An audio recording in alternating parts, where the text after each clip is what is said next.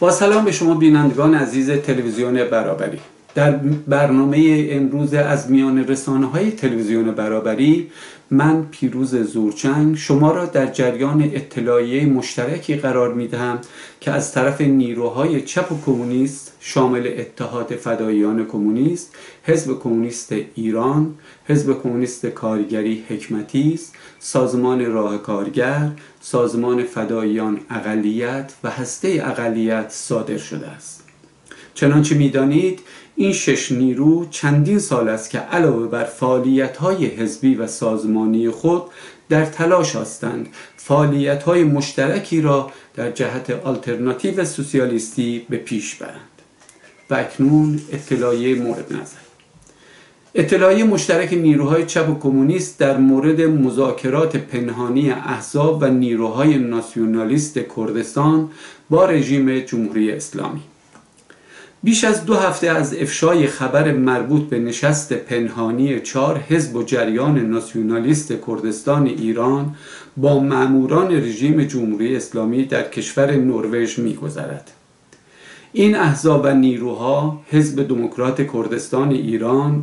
حزب دموکرات کردستان سازمان انقلابی زحمتکشان کردستان ایران و سازمان زحمتکشان کردستان متشکل در مرکز همکاری احزاب و نیروهای کردستان ایران تا کنون در مورد این خبر بیانیه رسمی منتشر نکردند. اما مسئول دوره‌ای مرکز همکاری خبر نشست نمایندگان این چهار جریان با فرستادگان جمهوری اسلامی را تایید کرده است. این احزاب و نیروها در شرایطی به استقبال نقشه جمهوری اسلامی برای انجام مذاکره پنهانی شتافتند که این رژیم با یک بحران عمیق و همه جانبه روبرو است. تعمیق بحران و خطر فروپاشی اقتصادی تنگتر شدن حلقه تحریم های اقتصادی و تشدید انزوای بین المللی بحران سیاسی ایدولوژیک و مهمتر از همه تداوم اعتراضات کارگری و تودهی رژیم جمهوری اسلامی را بیش از هر زمانی در منگنه قرار داده است. رژیم جمهوری اسلامی اگر برای تضمین بقای خود گزینه سازش قهرمانانه با آمریکا را در پیش رو دارد اما در برابر روند تداوم اعتراضات کارگری و تودهی و نارضایتی عمومی که ادامه حاکمیت آن را به مخاطره انداخته است راه نجاتی در پیش رو ندارد. رژیم اسلامی در حالی که از پاسخگویی به مطالبات این جنبش عظیم اعتراضی ناتوان و درمانده است همزمان با تداوم سرکوب و بگیر و ببند فعالین جنبش های اجتماعی به هر حیله و نیرنگ و توطعه برای کاهش فشار اعتراضات توده متوسل می شود در چنین شرایطی نقشه رژیم برای انجام نشست پشت پرده با احزاب ناسیونالیست در کردستان دقیقا در راستای این هدف ارتجایی و ضد انقلابی قرار دارد. رژیم با بهره گرفتن از ظرفیت های سازشکارانه و ارتجایی این احزاب و نیروها و با انجام این نوع مذاکرات و پخش خبر آن از طریق عوامل خود می‌خواهد مردم مبارز و حق طلب و آزادیخواه کردستان که در سالهای اخیر به اشکال مختلف با مبارزات سراسری کارگران و مردم ایران همراهی کردند را در حالت انتظار نگاه دارد تا به جای گسترش دامنه مبارزات خود به تغییر و تحول از بالا امید ببندند. در شرایطی که یکی از ملزومات پیشروی جنبش حق طلبانه و آزادی خواهانه توده های زحمتکش مردم کردستان تحکیم پیوند با جنبش سراسری است رژیم می‌خواهد در میان جنبش اعتراضی مردم کردستان به جنبش اعتراضی سراسری تفرقه و شکاف ایجاد نماید.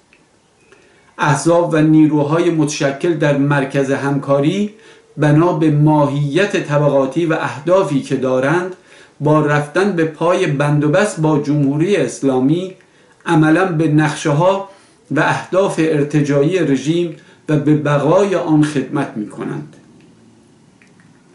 مرکز همکاری احزاب و نیروهای کردستان ایران در شرایطی در تقابل با منافع جنبش حق طلبانه مردم کردستان وارد بندوبست با رژیم شدهاند که رژیم جمهوری اسلامی بعد از چهار دهه در ضدیت و دشمنی آشتی ناپذیر خود با منافع مردم کردستان جای هیچ گونه ابهامی باقی نگذاشته است. این رژیم طی این چهل سال نشان داده که جز زبان زور علیه مردم کردستان هیچ زبان دیگری نمی‌شناسد و جز میلیتاریزم تحمیل فقر و فلاکت بیشتر تداوم اعدام ها و به گلوله بستن هر روزه کولبران و تشدید فضای سرکوب و بگیر و ببند مبارزان سیاسی هیچ پاسخی برای موزلات اقتصادی و اجتماعی ستمگری ملی و بیحقوقی های سیاسی و فرهنگی که مردم کردستان از آن رنج می‌برند ندارد. ما امضا کنندگان این اطلاعیه با توجه به شرایط کنونی که در بالا به آن اشاره شد هر گونه مذاکره و بندوبست با رژیم جمهوری اسلامی را در تقابل کامل با منافع مبارزه طبقه کارگر و توده های زحمتکش مردم کردستان و جنبش اعتراضی سراسری می‌دانیم و آن را قاطعانه محکوم می کنیم. ما همراه با جنبش سوسیالیستی و آزادی خواهانه در ایران تضمین می کنیم که سیاست سازشکارانه احزاب ناسیونالیست در کردستان در قبال نقشه ها و توطعه های ضد انقلابی جمهوری اسلامی با صد آگاهی و هوشیاری کارگران و مردم زحمتکش کردستان روبرو شده و در هم خواهد شکست. طبقه کارگر و توده های زحمتکش و مردم آزاده کردستان که چهار دهه حاکمیت جنایتبار رژیم جمهوری اسلامی را تجربه کردند سیاست سازشکارانه و بندوبست احزاب ناسیونالیست با رژیم اسلامی را تماما برخلاف منافع خود می‌دانند. مردم ستم دیده و مبارز کردستان به خوبی می‌دانند. امروز در شرایطی که رژیم با بحرانی همه جانبه روبرو است و روند اعتراضات کارگری و تودهی ادامه دارد تنها با تشدید مبارزه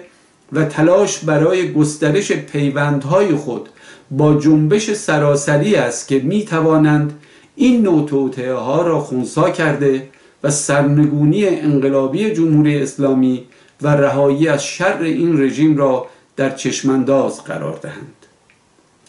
پیروز با جنبش حق طلبانه کارگران و مردم ستم دیده کردستان سرنگون باد رژیم سرمایداری جمهوری اسلامی